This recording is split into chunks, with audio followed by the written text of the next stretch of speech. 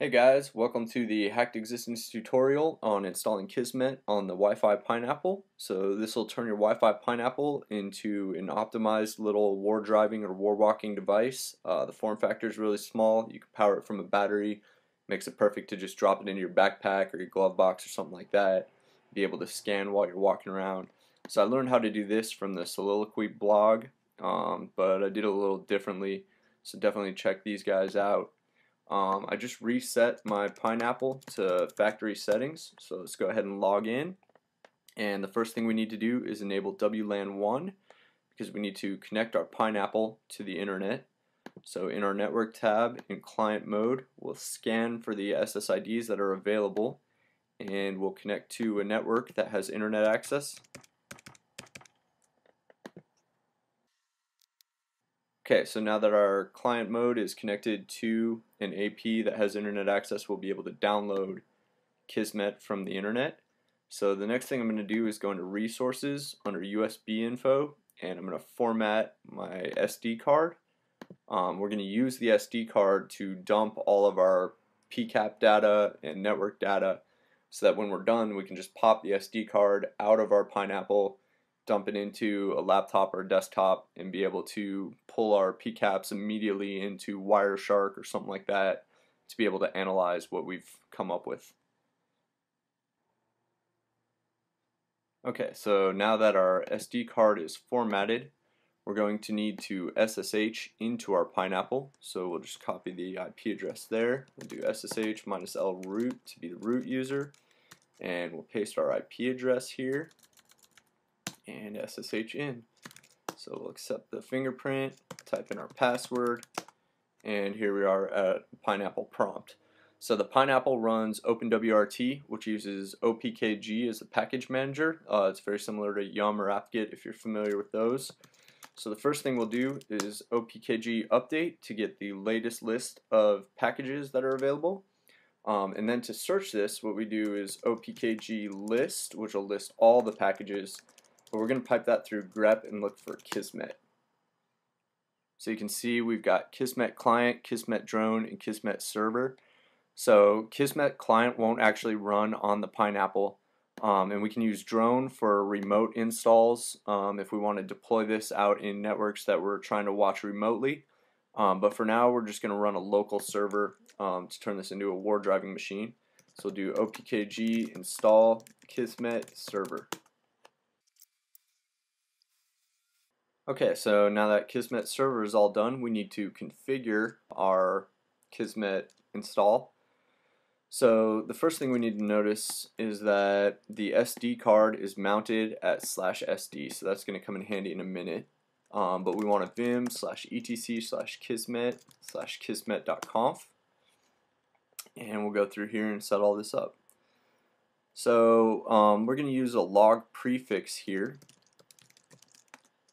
and it's going to be slash SD. And we'll look at what that does in a minute here. We don't need the trailing slash, and we'll see why uh, pretty soon here. Okay, so we need to define our source. So our NC source is going to be WLAN1.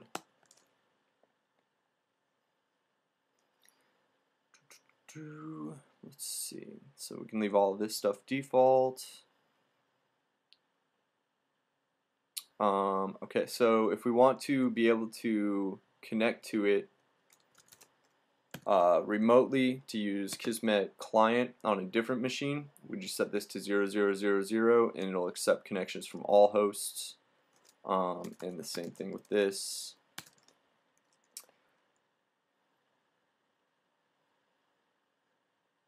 Okay, we can leave all this the same. So I don't have GPS.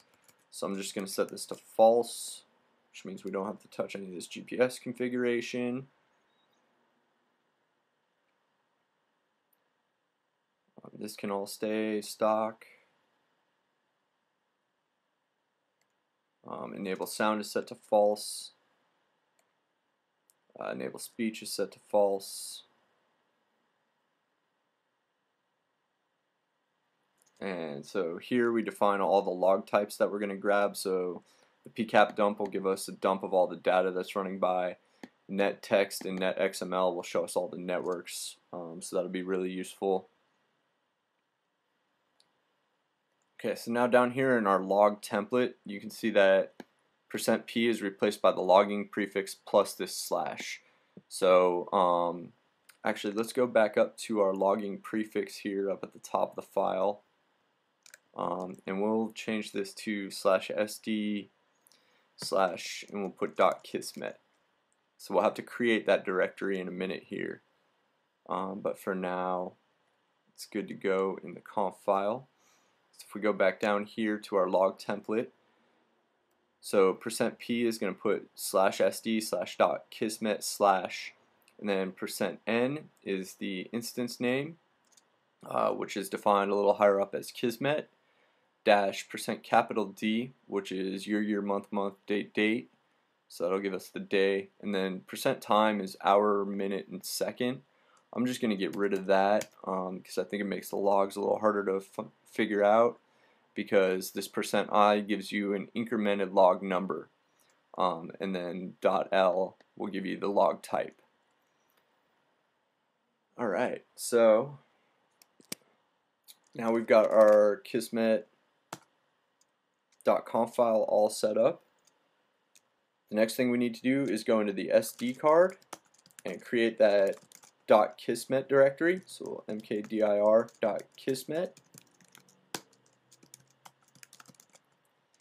So now we should be able to run kismet underscore server.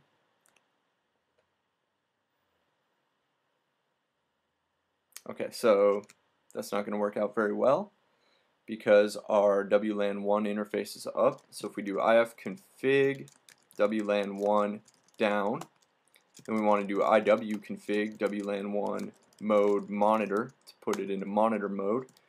Then we'll bring it back up, WLAN1 up, and now we should be able to run kismet underscore server. And you can see all these networks that it's finding around me, um, giving you channel BSSIDs, uh, all that fun stuff. So now if we go in this directory we go to .kismet, and we look in here, you can see our Kismet logs. So if we cat kismet uh, dash 2.pcap dump, so you can see here's our pcap dump, um, and we can actually run that through strings instead of doing a cat. It'll pull out all the human readable characters, um, which is pretty nice. Then the other thing we can look at is if we less Kismet 2 dot. Uh, let's look at net text. So here's a nice little dump of all of our networks that are around us, what clients they have, uh, if they can identify the manufacturer, um, all that fun stuff. So the benefit to doing this all on the SD card is now you can just pop that SD card out when you're done war driving or war walking, pop it into a laptop or a desktop and be able to open up those PCAP dumps in Wireshark or whatever tool you want to use to analyze your data. Um, so I figured out how to do all this stuff from the Soliloquy blog. Uh, they have a nice little tutorial put together right here on how to do it.